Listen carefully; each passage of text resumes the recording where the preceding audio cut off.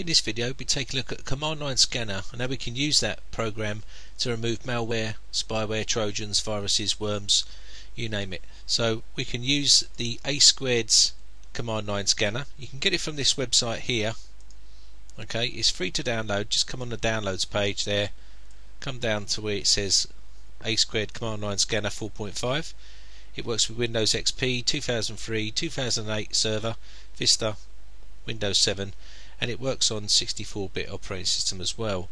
So it's about 70 to 80 megs in size. Just download that okay? Now I've already downloaded it so I'm just going to go to my computer and uh, I'm going to grab this zipped file. And what I want to do is I want to actually copy all these files okay? These are the files inside the zip file. Let me just open up another folder I want to make a new folder in here.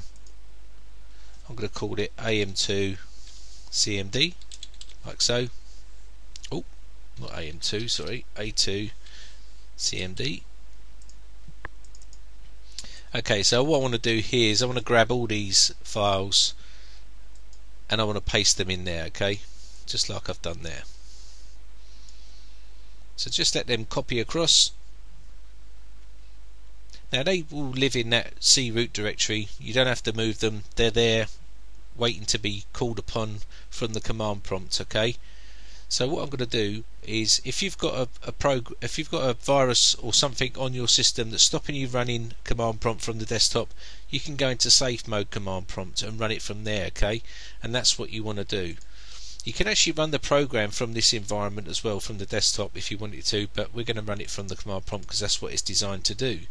So what we want to do now is I'm not going to infect the PC up. I'm just going to show you how it works. So I'm just going to restart this system. Once the system's restarted we'll boot into command prompt.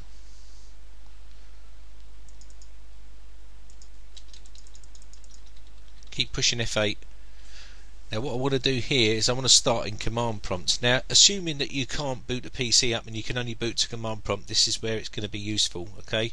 So you can boot up to safe mode with command prompt.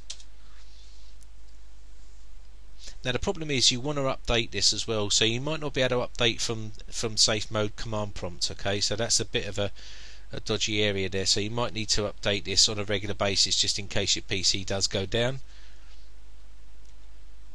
now we can choose any of these accounts, they're both administrator accounts. I'm just going to go on to my test account here. And this is the actual safe mode with command prompt. Now from there what I want to do is I'm going to type cd backslash and that will take us to our C root directory. Now I want to change directory to uh, A2 CMD. That's the name of the folder that I created on my C root directory and that puts us in there. I just want to test by typing dir to see if we're in the right place and we are because you can see a2cmd.exe that's the actual name of the program what I'm going to be running. So now I know I'm in the right place. Let's just clear the screen so we can see what we're doing. Now what I want to do is here is put a2cmd.exe and this will give us all the commands and switches that we can use with this command line scanner. So as you can see there's a load of switches and uh, commands here we can use I'm going to be using the deep one here because I want to do a deep scan. You can actually do a smart scan or quick scan as you can see. Also we've got a memory for forward slash M for memory. I want to definitely be using that and also traces. I definitely want to be uh, scanning for traces. Okay, so I'm going to be putting a H in there and an R in there as you can see, riskware and stuff. And uh, also N I'll be using NTFS file system. I want to be uh, doing that, looking for uh, streams and also let's have a little look.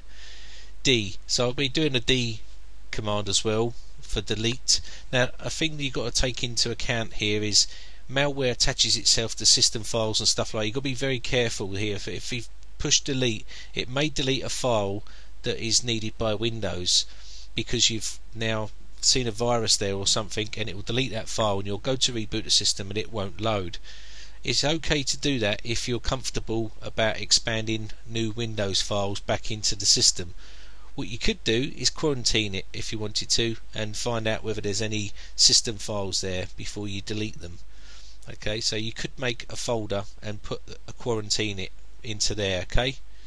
so just bear that in mind now obviously you can see the update version here you've got a forward slash u and that will actually update the signatures. Now that's what you should be doing really before you do anything.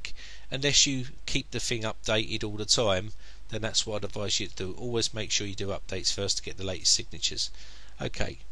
So what I want to do here is do our command. So I want to do um, A2 CMD okay I'll do it slow so you can see what I'm doing .exe and then space forward slash and I want to do deep like so then space forward slash.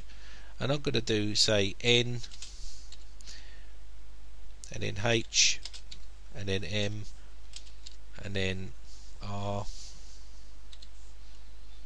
Okay what else we got there to do? Okay space T for traces and I want to do D for delete. Okay so these are the commands I'm going to be using you can use which ones whatever you like here okay? So whatever you want to use you can use it. I'm using these. And all you need to do here is then just push the enter on the keyboard and this will run the program okay? Uh, from from the command prompt. And now this is very useful if you can't get to the desktop and you want to get to this area and run malware from this malware scanning from here. This will clean off a lot of the infections that you've got okay? Now a squared is very underrated. I think it's a really good program for removing infections from a machine. So as I said you know it's a really good program to have. And if you've got the folder already there inside the root directory sitting there waiting to use in case you never know when uh, malware strikes it may knock the PC out and you can't boot up and then at least you've got another way of uh, scanning the system okay? And this is as you can see it here running through you've got there scanning files at the top there in percentage wise. Okay that's pretty much it really. Um, if you've got any problems just please remember you can always get over to our forums here. This is our forum we've got. Okay it's briteccomputers.co.uk forward slash forum. Get yourself over here. If you've got any problems find a designated area where you want to post that problem and uh, we'll do our best to uh, fix your problems for you. Okay there's plenty of good useful uh, guides on here tutorials on how to do stuff slipstreaming and whatnot. It's growing all the time so get yourself over here register and uh, join the community. Anyway hope you've enjoyed this video. My name is Brian from britec.co.uk if you enjoyed these videos please remember hit the subscribe button and also uh, rate for my videos and uh, leave any comments that you've got any there. If you've got any there leave a comment so thanks again for watching guys. Thanks for your support. Bye for now.